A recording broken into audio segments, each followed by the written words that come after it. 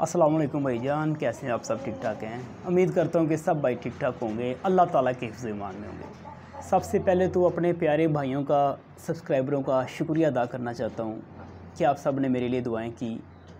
अल्लाह ताला ने मुझे दोबारा फिर सेहत दी और आप मुझे इस वक्त दोबारा फिर देख रहे हैं। ये आप भाइयों की दुआएँ हैं। कमेंट भी मुझे आए थे व्हाट्सअप के ऊपर भी मैसेज आए थे भाइयों के। तो अच्छा लगा आप सब भाइयों ने इतना, यानी कि मुझे प्यार दिया। और आप ही की दुआएँ हैं कि आपका भाई फिर दोबारा आपके सामने है। जी, बहुत शुक्रिया आप सब भाइयों का। तो अपनी वीडियो शुरू करते हैं। आज का जो हमारा वीडियो का मौजू है, ये साहिल भाई हमारे सब्सक्राइबर हैं। ये आप उनका कमेंट ऊपर देख सकते हैं स्क्रीन के ऊपर। इन्होंने मुझे ये कमेंट किया कि एहसान भाई मुर्गी अंडों के ऊपर बैठाई थी और अंडों के अंदर ना जितने भी बच्चे थे, यानी कि वो डेड इन शेल हो गए हैं। डेड इन शेल का मतलब होता है कि अंडों के अंदर बच्चे तो बने हुए थे, लेकिन वो मर चुके हैं। ऐसा क्यों हुआ बच्चे मर क्यों गए हैं अंडों के अंदर? इक्कीस दिन जब पूरे हो गए, मुर्गी को बाईस, तेईस दिन जब हो गए, अंडे तोड़ के देखा तो बच्चे तो बने हुए थे, लेकिन वो मरे हुए थे। सारे। क्या वजूहत इसकी हो सकती हैं? तो इसके ऊपर मैं ज़रा तफसील के साथ वीडियो बना के आप भाइयों को बताऊँगा कि ऐसा क्यों होता है। नंबर वन, जब आप मुर्गी अंडों के ऊपर बिठा देते हैं, ठीक है तो सोलहवें से सतारवें दिन जब शुरू होता है, उस वक्त तकरीबन कंप्लीट बच्चा अंडे में बन जाता है। सोलहवें से सतारवें दिन में अंडा, अंडे के अंदर बच्चा पूरा बना होता है, उसके पाँव, चूँच, उसका पूरा जिसम, टोटली। अठारह, उन्नीस, बीस, ये तीन दिन जो होते हैं, ये बड़े अहम होते हैं अंडे के लिए। अठारह, उन्नीस, बीस, अगर इन तीन दिनों में अल्लाह ना करे कि अगर आसमानी बिजली चमकती है बड़ी कड़खत के साथ उसकी आवाज़ होती है। सीने लोगों के दहक जाते हैं उसको सुन के। जब आसमानी बिजली चमकती है, मैंने तो देखा है ना कि जब बड़ी कड़क के साथ बिजली चमकती है तो लोग डर जाते हैं। लोगों का ये आलम होता है कि डर जाते हैं घुस घुस जाते हैं यार के दिल बाहर आ जाएँगे, फट जाएँगे। उसकी कड़क इतनी होती है बिजली की। और वो जो आसमानी बिजली की कड़क होती है ना, ये जो सतारवा अठारहवा उन्नीसवां दिन जब चल रहा होता है, मुर्गी बैठी होती है, सतारवें के बाद की बात कर रहा हूँ। तो जो अंडों के अंदर बच्चे बने होते हैं ना, ये कह लें कि उनके अंदर अगर जान अभी नहीं पड़ी, सतारवें अठारहवें उन्नीसवें दिन जान नहीं पड़ी अभी अंडों में, लेकिन वो बच्चे बने हुए हैं, लेकिन जब वो कड़क पड़ती है ना बिजली की तो वो उधर ही स्टक हो जाते हैं, आप ये कह लें। स्टक हो जाते हैं या उधर ही उनका वो जो सिस्टम है वो रुक जाता है। या ये कह लें कि वो जो उनके अंदर जान का दुरानियाँ पढ़ना होता है ना, उनमें जान पढ़नी होती हैं, बीसवें दिन या इक्कीसवें दिन जब भी, वो जब कड़क पड़ती है ना तो वो उधर ही रुक जाता है काम। ये मैंने बताया ना, अहम दिन होते हैं, सतारह, अठारह, उन्नीस, ये अहम दिन होते हैं। इनमें अगर बिजली कड़कती है, दो दिन तक अगर बाल, बादल बने रहते हैं या तीन दिन तक बादल बने रहते हैं बारिशें होती हैं, बिजली चमक रही है रोज़ ही, आपने मुर्गी भी अंडों पर बैठा दी हुई है। तो वो उनमें जान नहीं पड़ेगी। वो स्ट्रक हो जाते हैं, उसकी गर्ज से स्ट्रक हो जाते हैं वो। ये कोई नेचर का नेचर वाइज कॉन्टैक्ट कॉन्टैक्ट होता है एग्ज़ के ऊपर। ये कोई नेचर किया जैसे चाँद ग्रहण लगा होता है तो हम कहते हैं भी अगर कोई गाय है, कोई बकरी है, या कोई और चीज़ है, को है, या कोई मुर्गी के अंडे हैं, उनको रोशनी ना पड़े चाँद ग्रहण की, वरना बच्चे के हाथ पाँव टेढ़े हो सकते हैं, कोई और मसला हो सकता है। इसी तरह इंसानों में भी हिसाब होता है, जब चाँद ग्रहण होता है तो भाई उसके करीब ना जाया जाए, यानी कि जो रहती हैं प्रेग्नेंट फीमेल्स तो ये एक नेचर की नेचर की ना रिडक्शंस होती हैं। अब आपको मैं साइंस के अमल से, तफसीलन से बताऊँगा तो वीडियो लंबी हो जाएगी, ऐसा क्यों होता है? क्या इसके सीन्स होते हैं? क्या शुआएँ होती हैं? बस आप ये समझें कि जब बिस्मानी बिजली चमकती है, मुर्गी अगर अंडों में बैठी है अठारहवा उन्नीसवां दिन लगा हुआ है, बड़ी ज़ोर से बिजली चमक रही है दो दिन से। तो 80 परसेंट चांसेस होते हैं कि अंडों के बीच बच्चे तो होंगे बने, लेकिन उनमें जान नहीं पड़ी होगी। ठीक है? एक तो बात ये हो गई जो मैंने आपको बता दी है। ठीक है?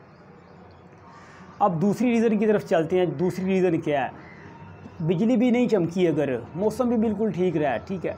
लेकिन गर्मी की इंतहाई शिद्दत है, जिसे कहते हैं कि जुलाई का अगस्त का महीना फुल गर्मी जब होती है। अगर जुलाई और अगस्त का महीना चल रहा है फुल गर्मी का फुल गर्मी का। आपने मुर्गी अंडों में बैठा दी है। और दर्जा हरारत तरतालीस चरतालीस है फोर्टी थ्री फोर्टी फोर है। इतनी ज़्यादा शिद्दत की गर्मी है, मुर्गी आपने अंडों में बैठा दी है। तो यकीनी बात है, मुर्गी अंडों को हीट देगी, बच्चे बीच बनेंगे, लेकिन गर्मी की शिद्दत इतनी होगी, वो बच्चे बीच ही नामलूद हो जाएँगे, यानी कि मर जाएँगे अंडों के बीच। उसमें जान नहीं पड़ेगी गर्मी की वजह से कि गर्मी बहुत ज़्यादा थी, ये कह लें। बच्चे तो बन गए, मुर्गी ने हीट भी अंडों अंडों को दी, वैसे भी गर्मी थी, उनकी टांगें चूंट सारा सिस्टम बना हुआ था। लेकिन जब वो इक्कीस दिन पूरे हो गए, बाईस, तेईस, चौबीसवा में आ गया, आपने तोड़ के देखे तो मरे। वजह यह है कि गर्मी बहुत ज़्यादा थी। गर्मी इंतहा को थी कि बच्चों में जान नहीं पड़ सकी, बच्चे मर गए। गर्मी की वजह से बच्चे मर गए। दो रीज़नें हो गई। पहली रीज़न मैंने बताई है आपको बिजली की, दूसरी मैंने बताई है इंतहा गर्मी की। गर्मी की इंतहा, ठीक है? अब तीसरी रीज़न आपको मैं बताता हूँ क्या जो अंडे आपने मुर्गी के नीचे रखे, आया कि वो फ्रेश अंडे थे, जो लास्ट अंडा था, वो पंद्रह दिन से पुराना नहीं होना चाहिए। ये अपने दिमाग में आप एक ना कॉन्सेप्ट बना लें कि जो लास्ट अंडा होता है ना, मुर्गी का जो आखिरी अंडा है, वो पंद्रह दिन से पुराना नहीं होना चाहिए। जो सबसे पहला अंडा मुर्गी देती है ना आपके पास, जो पहला अंडा होता है, वो पंद्रह दिन से पुराना नहीं होना चाहिए। अगर वो अंडा एक महीना पुराना है या पच्चीस दिन पुराना है, बीस दिन तो आप ना नीचे रखें उसे, गर्मी की बात कर रहा हूँ मौसम की। आप ना रखें उसे। अब आपको पता कैसे चलेगा यार ये अंडा भी इतने, इतना पुराना है। आप एक मार्कर रखें पिंजरों के पास, जिधर भी आप अंडे सेफ़ रख करते हैं। जब मुर्गी अंडा देती है पता कि मुर्गी ने देने शुरू करने हैं। अंडा पकड़ें, उसके ऊपर डेट लिखें आप।